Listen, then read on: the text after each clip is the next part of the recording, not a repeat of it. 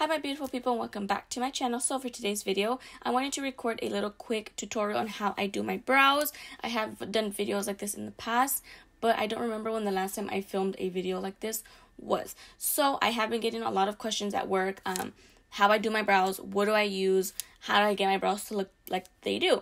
So I thought I'd just sit down, film a quick tutorial for you guys, letting you guys know how I do my brows, how I get them to look like this, what products I use, and all of that good stuff. Again, um, obviously this is what my brows came out to, to, look like. So if you guys are interested on how I do my brows, what products I use, what brushes I use, and the little tips and tricks to get my brows to look like this, then you know what to do and just continue watching. Hi my beautiful people, welcome back. So obviously as you guys can see by my face, I'm going to be doing a quick tutorial on how I do my eyebrows. I have done videos like this in the past, but I've recently been getting a lot of questions how I do my brows, how I get my brows to look like the way that they do. So I thought I would just sit down, film a video for you guys and let you guys know what I do and what brushes I use and what products I use to get my brow to look like this. So obviously I went ahead and I did one brow off of camera already. So now I'm going to go on to this I show you guys little tips and tricks. So before I get started, my brows are not even whatsoever. Even when I do them, they look even when I'm like looking at myself in the mirror sometimes. And then I go and take a picture and they're like kind of off. Um, so that's why I always kind of angle my pictures like it just depends i guess of the way that you take your pictures i don't ever take my pictures like face this way just because you can see like my eyebrows are really off this one um I am missing like a little bit of hair on my arch. So that's why I kind of overdraw. I mean, I obviously I overdraw them already as you guys can tell. And drawing in your eyebrows makes a huge difference. But um on this one I'm missing a little bit of hair. I do my eyebrows at home. I don't get them done. I get them done once in a while mainly for like special events that I have going on with my family, like my birthday or just when they're really bad and I really forgot to like clean them up. But other than that, I kind of just use either my tweezers or I use this little kind of navaja in Spanish. I don't know how you little knife, I guess, little razor you would say in English. I did pick these up on Amazon. They come in a pack of 3. I'm not too sure how much I paid for them, but that is pretty much how I like shape and groom my eyebrows. And then I do have my little scissors. So what I do is I kind of just when I do kind of get them done, when I do them myself, I kind of just brush the hair up like so and as you guys can see obviously I have no hair because I just did them I just put up I brush up the hair and then I go and I kind of just cut that hair off and then same thing I brush it down and so on and so forth. So the three brushes that I'm going to go ahead and show you guys that I use on a day-to-day -day basis to do my eyebrows I'm always switching off with these brushes but you guys obviously don't have to pick this, these exact brushes up but I'm just letting you guys know what worked for me and what brushes I use. So the first one is this Morphe E29 brush so it's like the, the dual brush. So on one end it has obviously the brush. As you guys can see it's not that thin but it's pretty thin and it's going to give you a really nice clean cut for your eyebrows. On the other side it has a spoolie so i like it because obviously you can brush your eyebrows and you don't have to get just a separate spoolie. And then obviously you have this side and you can start to do your eyebrows. The next one that i have is another angled brush. This one is just the angled brush. As you guys can see this one's a little bit more thinner i feel like then this one. Let's go ahead and pair them next to each other so as you guys can see, it's a little bit thinner. Actually, the Morphe one looks a little bit thinner. Um, this one was my go-to, like, in the beginning. I constantly, I grabbed this one. I constantly, constantly use this one.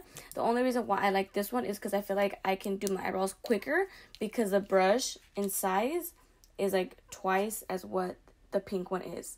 So as you guys can see, this one's a lot bigger and a lot longer. And this one's a little bit shorter. So this one really gives me like the control of really getting into like a larger area. And then the last one that I use is obviously a synthetic brush. I'm going to try to find the brush that I used in the beginning, which was this one. It has glitter on it. But as you guys can see, it's more like larger as in width. But as you guys can see, it's not so precise and it's not so thin like I like it, especially for carving out your eyebrow. I was using this one for a while and then I'm not sure what happened. I think I washed it one time and the brush is kind of, the bristles kind of just opened up so it was like more like of a fluffy kind of synthetic brush. So then i picked this one up. Same thing it's from BH Cosmetics so you guys can see how much of a defined line that is and it's way more thin. And obviously you can just grab your finger and grab the brush and kind of do this so that way you're able to get a nice clean cut. So now as far as what I use for my eyebrows, a lot of people think I use gel. A lot of people think I use pow- I'm sorry, um, like the pencil. but I actually use eyeshadow, and the eyeshadow that I use, my go-to, I don't ever use anything else, is my Morphe palette. This was a 25A palette. So now that I did dye my hair and my hair is pretty much like black, I don't still want to go in with black because they're going to look really funny. So I mainly go in with this one and I sometimes I mix a little bit of this one if I have to. If I feel like I didn't grab enough of this color, I'll grab a little bit of the black. But for the meantime, I always use this dark brown. So now, I'm going to go ahead and show you guys the way that I do my eyebrows and what way works for me and what's the quickest for me. So first I'm going to start off with taking my spoolie. Again, I'm just going to go ahead and comb my brow I kind of comb it up to give me that arch and then I'll comb it down. So up and then down. Just like so.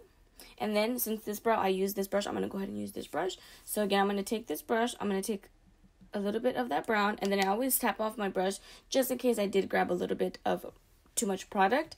I'm tapping it off so all the excess powder can come off. So then what I do is I begin doing my eyebrows maybe right here like one fourth inch within like going into my brow. So I leave this little piece out just because that's what gives it like that nice kind of like ombre effect. So you can start in the beginning of the brow and just pretty much drag it within like the whole entire eyebrow, but it's going to give it more like of a boxy look depending on how you go about doing the beginning of your eyebrow. So that's why I prefer just starting a little bit maybe like about right here. That way I can kind of feather in the front to give me that nice ombre effect. So again, gonna outline the bottom right about there. And I do have less hair right here so that's where I kind of overdraw. Not too much because I don't want to give myself like thick brows. So as you, I, as you guys can see it looks a little bit light right there so that's when I go in with the black just a little bit and then back into that brown. And you see I'm not just dragging it I'm kind of like doing little strokes because I feel like if I were just to drag it completely, I feel like I mess up a lot faster um, and I wouldn't get it exactly where I need to. So again, gonna take a little bit more of that black and the dark brown.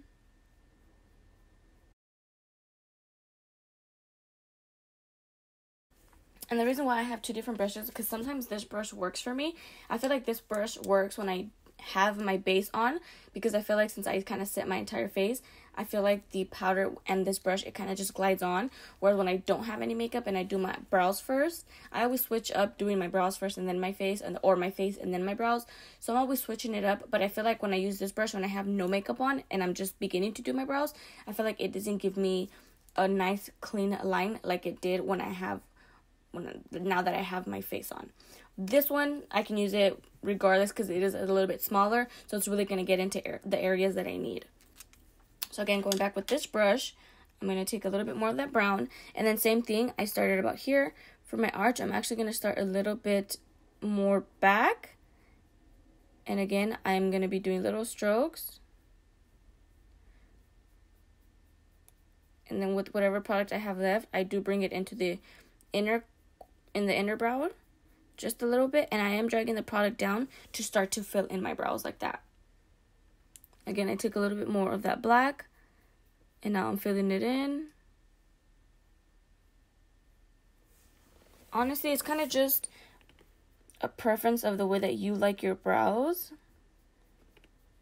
But this is what works for me.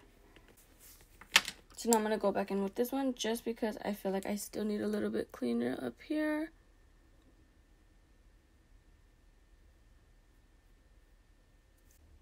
So then what I like to do is I go back in with that first brush and I'm just going to lightly, without any product, just do the front, fill it in just like that. And then, since I did have a little bit of product left on this brush, I'm going to tilt the brush up and down. So it's going to be like this instead of sideways like this. I'm going to have it up and down. And that's when I start doing little like hair-like strokes. Just to give me more of like that ombre kind of eyebrow.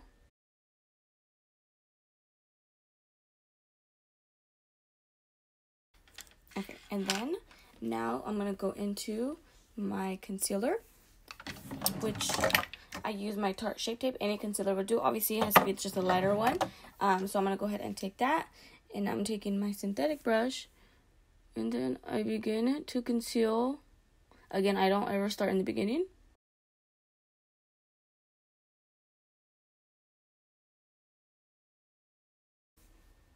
So I start like where my arch is at.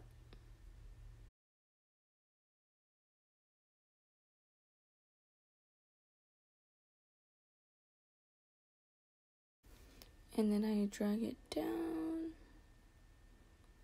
and then I get a little bit more and then that's when I start to do the inner part.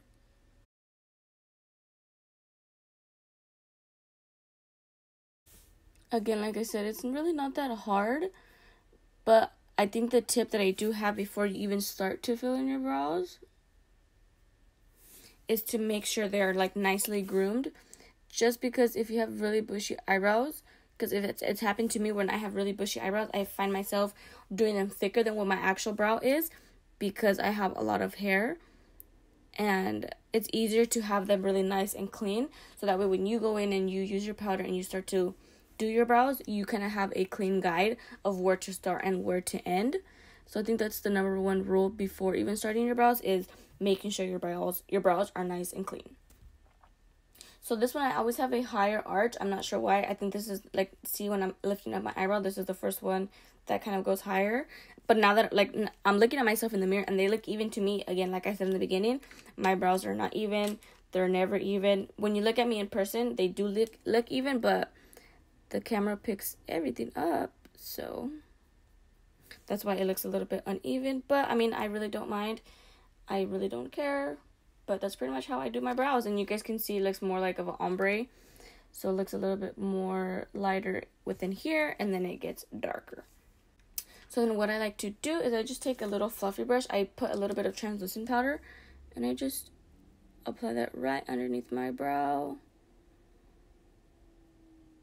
just so I can set the concealer and it's not going to move throughout the day. I can go in and, which I'll probably do just a little bit just so they can look. So what I like to do sometimes is I don't do this one so high. Or I'll do this one higher. That way when I do this one like normal, you see how it kind of took that off? It kind of, they kind of look the same. But, okay, so that's pretty much it. So I'm to go ahead and just do, finish everything off.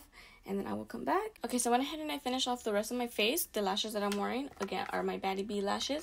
But these are the style, Oop, I should bleep that out. F-Boy. And then for my lip combo, I went ahead and I used my KKW Beauty Lip Liner. I want to say this is in the shade Nude 2. And then I applied the Huda Beauty Matte Lipstick in Staycation. And then on top of that, I know I did it like the opposite, but who cares? And then I applied the Dose of Colors liquid lipstick in the color Sand. And then on top, just to give me a little bit of gloss, I applied the KKW Beauty lip gloss in the shade Radiant. Um, so obviously this is what the lip combo came out to look like. So that's pretty much it. Again, like I did mention, this was a little quick brow routine or my quick brow tutorial on how I do my brows on a day-to-day -day basis. Again, I did mention that I use three different or three brushes depending on these, again, depending on how I'm feeling, depending on how I want my brows to come out, I'll use either this one or I'll, I'll use this one. But as you guys seen, I went ahead and I used this one. And I just feel like it makes me do my brows a little bit faster just because of the size of the brush. Where this one's a little bit shorter, so I do have to go in like a little bit more. And I do have to work with it more just because I have to do like more strokes just because it's a little bit smaller. But yeah, that is pretty much it. I hope this video was really helpful. I hope you guys learned something for those of you that have been asking me how I do my brows or what products I use to get my brows to look like this. Again, like I did mention, my brows are nowhere near perfect. They're nowhere near the same, but this is what worked for me, and this is what works for my face, shape, and all of that. So I really hope you guys did enjoy it. If you guys are not subscribed to my channel, make sure to hit that subscribe button, and make sure to give this video a thumbs up if you guys did enjoy. That's pretty much all I have to say, and I always leave my Instagram down below if you guys want to go ahead and follow me. On my Instagram, I post sometimes my makeup, um, but more like fashion and outfits and stuff like that. And that is pretty much it. I really hope you guys enjoyed, and I will see you guys on the next one.